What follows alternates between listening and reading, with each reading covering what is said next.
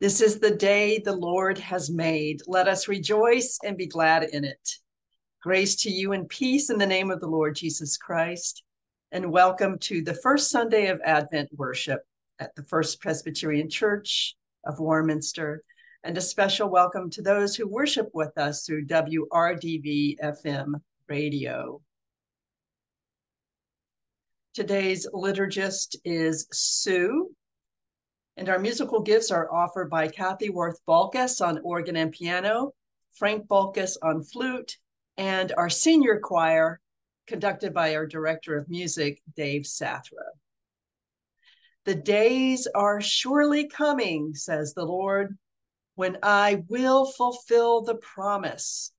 I will cause a righteous branch to spring up for David, and he shall execute justice and righteousness. Our worship now begins with the sounding of the chimes.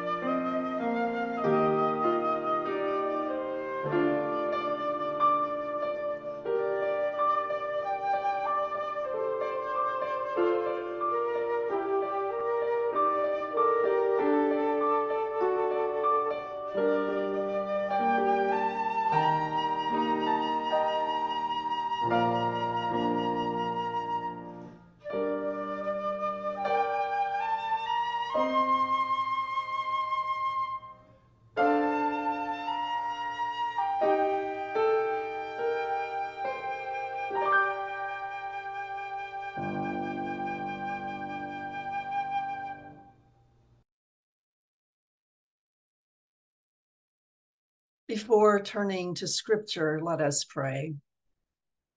Guide us, O God, by your word and spirit, that in your light we may see light, and in your truth find freedom, and in your will discover your peace. Through Jesus Christ our Lord. Amen. Our Old Testament lesson today is from Isaiah chapter 64, verses 1 through 9. Oh, that you would tear open the heavens and come down, so that the mountains would quake at your presence, as when fire kindles brushwood and the fire causes water to boil, to make your name known to your adversaries, so that the nations might tremble at your presence. When you did awesome deeds that you did not expect, you came down. The mountains quaked at your presence from ages past, no one has heard, no ear has perceived, no eye has seen any God besides you, who works for those who wait for him. You meet those who gladly do right, those who remember you in your ways. But you were angry, and we sinned. Because you hid yourself, we transgressed. We have all become like one who is unclean, and all our righteous deeds are like a filthy cloth. We all fade like a leaf, and our iniquities, like the wind, take us away. There is no one who calls on your name or attempts to take hold of you, for you have hidden your face from us, and we have delivered us into the hand of your, our iniquity. Yet, O Lord, you are our Father. We are the clay, and you are our potter. We are all the work of your hand. Do not be exceedingly angry, O Lord, and do not remember iniquity forever. Now consider we are all your people. Our New Testament lesson is from 1 Corinthians chapter 1 verses 3 to 9. Grace to you and peace from God our Father and the Lord Jesus Christ. I give thanks to my God always for you because of the grace of God that has been given to you in Jesus Christ. For in every way you have been enriched in him, in speech and knowledge of every kind, just as the testimony of Christ has been strengthened among you so that you are not lacking in any spiritual gift as you wait for the revealing of our Lord Jesus Christ. He will also strengthen you to the end, so that you may be blameless on the day of our Lord Jesus Christ. God is faithful. By him you were called into the fellowship of his Son, Jesus Christ our Lord.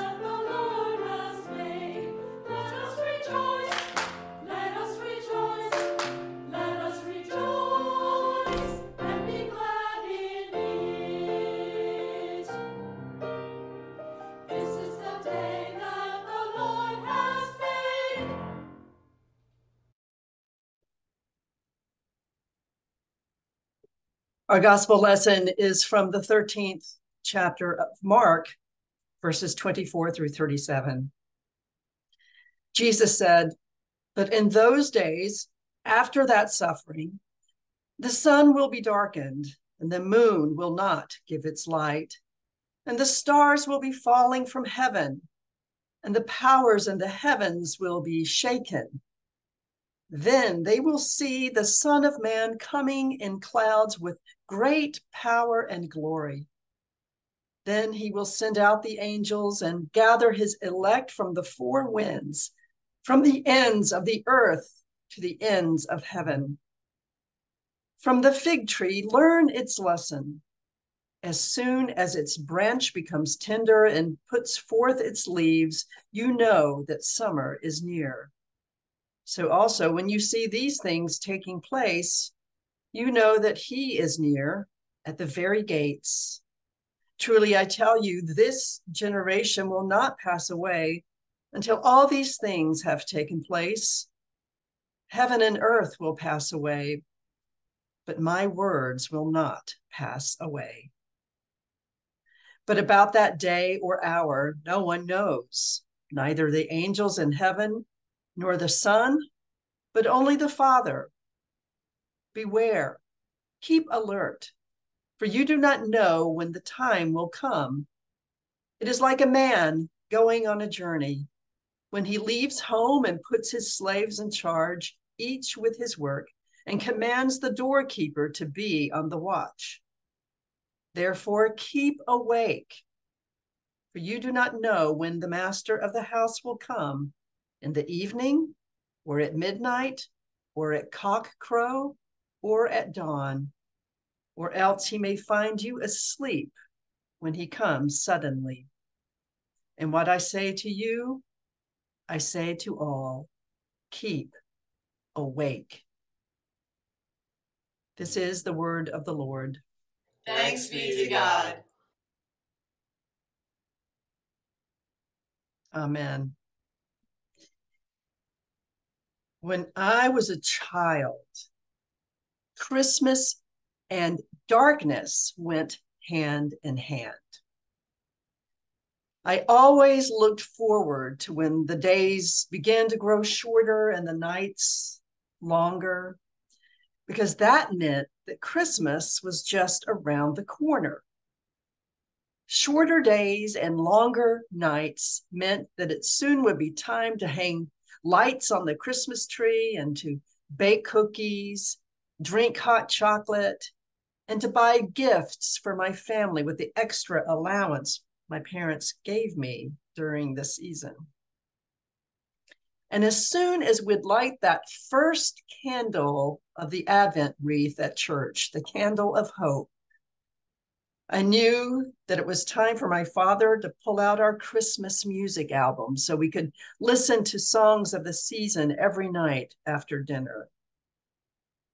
And every Christmas Eve, my brothers and I were allowed to open one gift, which was always new pajamas to sleep in that night. And like many children on Christmas Eve, I tossed and turned in my bed, worried that Santa would skip our house because I wasn't asleep yet. But as I've grown older, I've become less enchanted with the dark. I still love Christmas and always will. It's the darkness I don't like. I don't like driving in it because I can't see as well at night as I used to. Even walking in the dark is a challenge. I have to use the flashlight on my iPhone so that I can see where I'm going and to see who or what might be coming toward me. Also, when the sun goes down, so does my energy level. I have a hard time staying awake and productive in the dark. I'd rather curl up and go to sleep than to keep working. And of course, darkness has come to signify other things for me besides low energy or difficulty seeing. These days, darkness reminds me less of my childhood excitement for Christmas and more of what weighs us all down, such as the emptiness created by the loss of loved ones, or how quickly fear of the unknown can weaken our trust in God's faithfulness. Scripture frequently uses darkness as a metaphor for sin and death, for willful ignorance and blindness to the ways of God, and for the temptation for believers to fall back into the old life because they've lost hope for the future that God has promised. And the future that God has promised is that Christ, who came to us in the dark of night as a helpless infant, will come again in glorious light to redeem the world and to scatter its darkness forever. Advent is the time for the church to remember that its purpose is to hold a vigil in the darkness for that day to come. And when we lose sight of that purpose, we cease to be the church. When we light each candle of the Advent wreath as the days grow shorter, we fulfill our vocation not only by pointing to what God has done in the past and is doing in the present, but ultimately what God will do in the future through Jesus. We are a people who celebrate both the past and the future. And Advent helps us remember that we are to prepare for Christ to come again with the same joy and anticipation that we prepare to celebrate his birth, not just this time of year, but every day. So imagine waking up each morning with the same excitement you feel waking up on Christmas morning. That's how we are called to watch and to wait for God's future. Today's first Advent candle of hope represents a tiny flame of light flickering in the darkness, reminding us how sometimes our hope seems insignificant against the darkness of this broken and suffering world we live in and are called to serve. And a big part of faithfulness is recognizing our deep longing for his presence to remain real and powerful among us as we wait for the new world we have been promised. Much like ancient, ancient Israel yearned for God to intervene in the world of their day. As we heard Isaiah offer on behalf of the people a desperate lament to God to tear open the heavens and come down. It may seem odd to begin the season of Advent with a lament, but this year it feels more appropriate, doesn't it? How many times in just the past month have you heard the news of wars in Ukraine and Israel and longed for God to take charge and make things right and break the cycles of suffering, hatred, and violence that seem to have no end?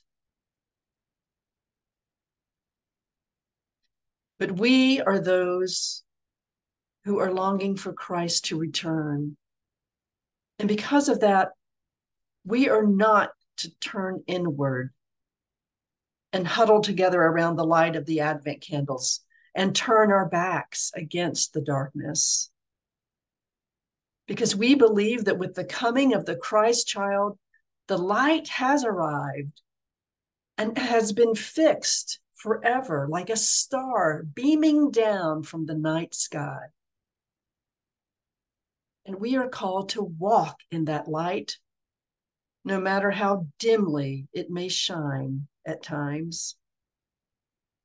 And that can be a difficult path to walk. To walk in the light of Jesus when there are still shadows all around us.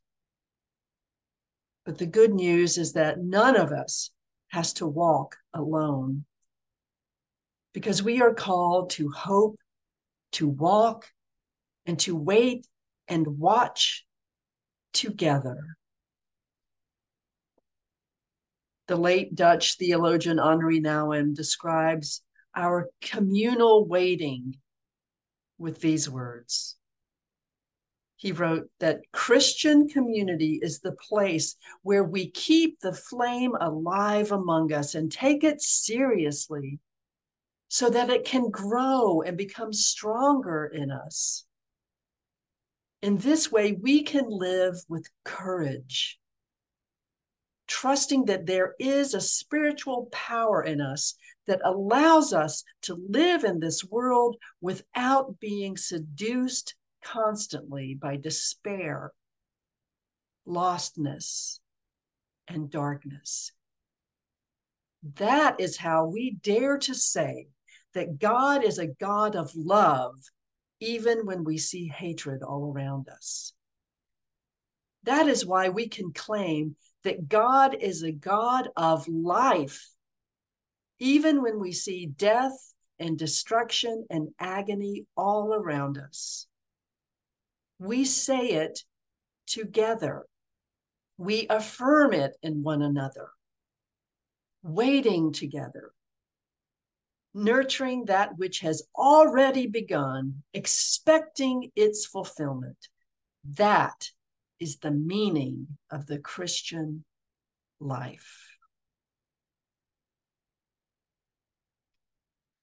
Friends, the grass withers, the flower fades, but the word and promises of our God will stand forever.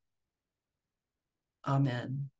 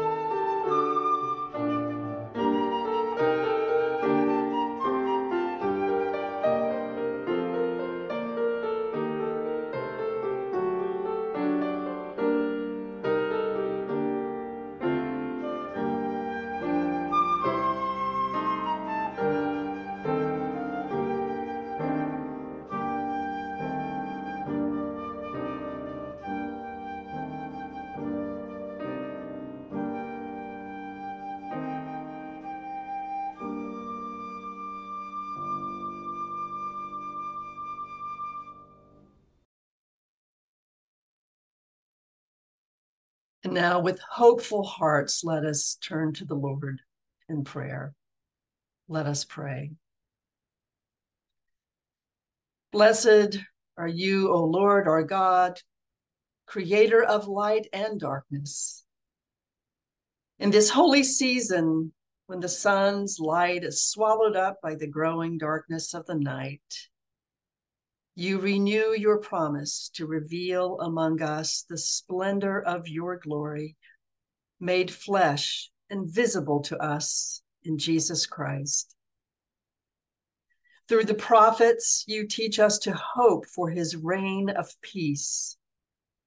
Through the outpouring of your spirit, you give sight to our souls that we may see your glory in the presence of Christ. Strengthen us where we are weak. Support us in our efforts to do your will and free our tongues to sing your praise. Give us your peace, O God, that we may rejoice in your goodness to us and to all your children. Especially, we thank you for people who reveal your truth and righteousness.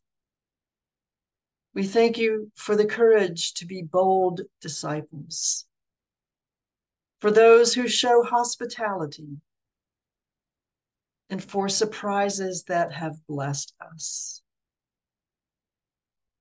Give us your peace, O God, that we may be confident of your care for us and for all your children as we remember the needs of others. Especially, we pray for friends and relatives who live far away from us, for neighbors who have special needs, for those who suffer hunger and thirst. And for those who work at night while others are sleeping. Merciful God, as a potter fashions a vessel from humble clay, you form us into a new creation. Shape us day by day through the cross of your Son until we pray as continually as we breathe and all our acts are prayer. Through Jesus Christ, our Lord and Savior, who taught us to pray together. Our Father, who art in heaven, hallowed be thy name. Thy kingdom come, thy will be done, on earth as it is in heaven. Give us this day our daily bread, and forgive us our debts, as we forgive our debtors. And lead us not into temptation but deliver us from evil. For thine is the kingdom, and the power, and the glory forever. Amen.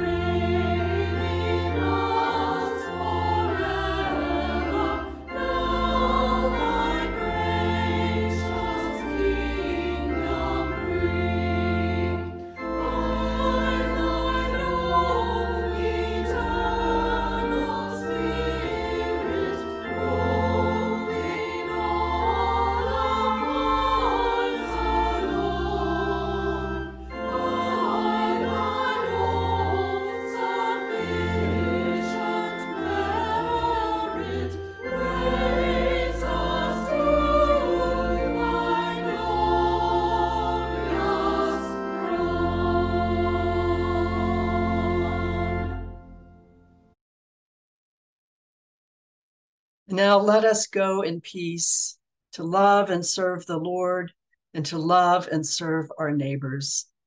The grace of the Lord Jesus Christ, the love of God, and the fellowship of the Holy Spirit be with us now and forever. Amen.